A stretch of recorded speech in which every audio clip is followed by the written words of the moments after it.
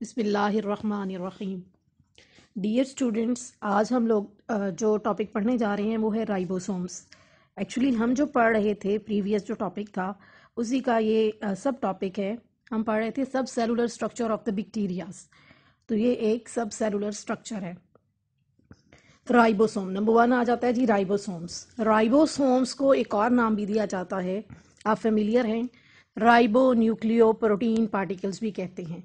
Because granular structures हैं और ये किससे कंपोज ऑफ़ होते हैं? आर आरएनए एंड प्रोटीन से।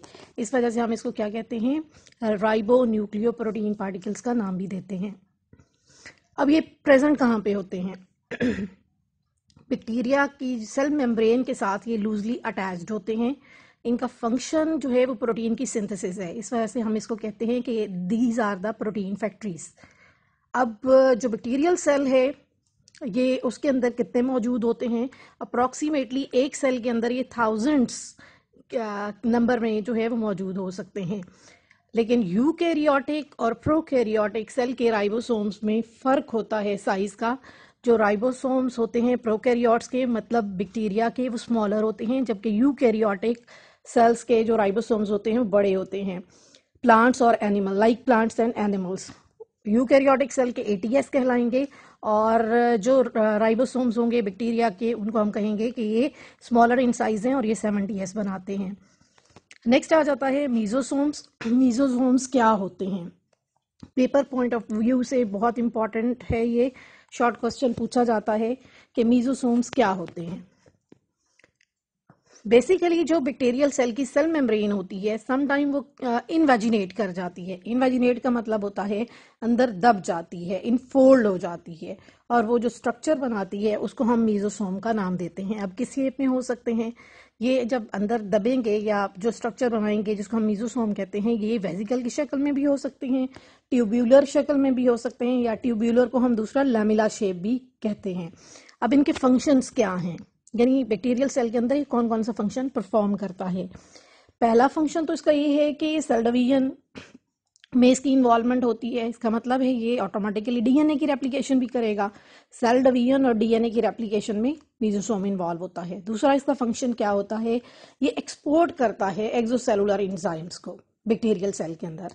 इसके साथ साथ इसका तीसरा जो इंपॉर्टेंट फ़ंक्शन है, वो ये है कि रेस्पिरेटरी इंजाइम्स जो होते हैं, वो म्यूजोसोम की सरफेस के ऊपर प्रेजेंट होते हैं। नेक्स्ट है जी granules and storage bodies bacteria के अंदर एबिलिटी होती है कि वो शॉर्ट सप्लाई न्यूट्रिएंट्स ही होगी, तब भी वो सरवाइव करने की एबिलिटी रखता है। क्यों रखता है? इस वजह से कि इसकी बॉडी के अंदर एबिलिटी होती है कि वो एक्स्ट्रा न्यूट्रिएंट्स को अपने बॉडी के अंदर स्टोर कर लेता है। अब किस फॉर्म में करता है सवाल ये पैदा होता है, जैसे प्लांट्स हैं, वो करते हैं स्टार्चेस की फॉर्म में एनिमल्स करते हैं ग्लाइकोजन की फॉर्म में। इसी तरह से बैक्टीरियाज भी अपने बॉडी के अंदर ग्लाइकोजन सल्फ़र या फॉस्फेट की फॉर्म में फ़ूड को स्टोर करते हैं। इसके अलावा, इसके अंदर जो ड्यूरिंग मेटाबॉलिज्म वेस्ट मटेरियल पैदा होता है, वो भी सेल के अंदर मौजूद होता है। और वो किस फॉर्म में होता है? वो अल्कोहल की फॉर्म में। लैक्टिक एसिड की फॉर्म में और एसिटिक एसिड की फॉर्म में मौजूद होता है। अब यहाँ से शॉर्ट क्वेश्चन बन सकता है कि स्टोरेज मटेरियल ऑफ़ बैक्टीरिया या waste material of the bacteria किस फॉर्म में होते हैं? तो वो आप बता सकती हैं कि स्टोरेज मटेरियल जो है वो ग्लाइकोजन सल्फ़र फैट या फॉस्फेट की फॉर्म में होता है, जबकि वेस्ट मटेरियल जो है अल्कोहल लैक्टिक एसिड या एसिटिक एसिड की फॉर्म में होता है। नेक्स्ट आ जाते हैं जी स्पोर्स स्पोर्स क्या होते हैं? स्पोर्स होते हैं metabolically dormant bodies.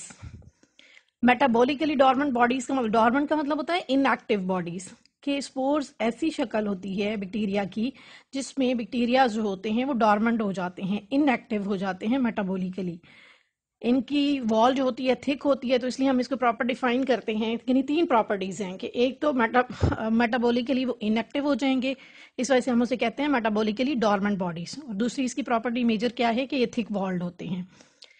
तो इसको प्रॉपर अगर हम डिफाइन करें तो हम कहते हैं कि दो तरह के होते हैं। एक्जोस्पोर्स और एंडोस्पोर्स एक्जो मतलब एक्सो का मतलब होता है बाहर एंडो का मतलब होता है अंदर।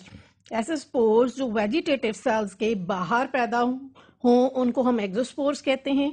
और एंडोस्पोर्स क्या होते हैं? वेजिटेटिव सेल्स के इनसाइड जो स्पोर्स पैदा होते हैं, उनको हम एंडोस्पोर्स का नाम देते हैं। अब यहाँ पे एक क्वेश्चन आपके माइंड में आएगा कि what are vegetative cells vegetative cells का मतलब होता है कि ऐसे सेल्स जिनके अंदर कैपेबिलिटी होती है या एबिलिटी होती है टू ग्रो उन सेल्स को हम वेजिटेटिव सेल्स का नाम देते हैं। नेक्स्ट के ये स्पोर्स पैदा कब होते हैं? यानी इनके प्रोड्यूस होने की कौन सी स्टेज है? तो जब बैक्टीरियल सेल की ग्रोथ हो रही होती है, जो लेटर स्टेजेस होती हैं मतलब लास्ट स्टेजेस, ये तब पैदा होते हैं। और इनकी प्रॉपर्टी ये भी है कि ये रेजिस्टेंट होते हैं। किस चीज़ के रेजिस्टेंट होते हैं? एडवर्स इन्वायरमेंटल कंडीशंस के। यानी अगर बुरे हालात हों इन्वायरमेंट के, यानी उसकी ग्रोथ के लिए वो प्रॉपर या सूटेबल ना हो तो ये तब जो है, स्पोर्स हैं वो प्रोड्यूस होते हैं और ये रेजिस्टेंट होते हैं किस चीज़ के? लाइट के हाई टेम्परेचर के डेसिकेशन के पीएच के एंड केमिकल एज इसका मतलब हुआ कि स्पोर जो होते हैं, वो एडवर्स इन्वायरमेंट कंडीशंस जो होती हैं लाइक लाइट हो गया हाई टेम्परेचर हो गया डेसिकेशन पीएच और केमिकल एजेंट्स के रेजिस्टेंट होते हैं। अब डेसिकेशन का मतलब क्या होता है? डेसिकेशन का मतलब होता है खुश्क हो जाना सेल का, या पानी की कमी हो जाना डेसिकेशन कहलाता है। अब ये जो स्पोर्स होते हैं, जैसे ही फेवरेबल कंडीशंस आती हैं मतलब उनकी ग्रोथ के लिए जो कंडीशंस रिक्वायर्ड होती हैं, जब वो अवेलेबल होती हैं तो ऑटोमेटिकली ये जो स्पोर्स होते हैं, ये ग्रो करना शुरू कर देते हैं और न्यू वेजिटेटिव सेल्स जो हैं, वो फॉर्म कर देते हैं।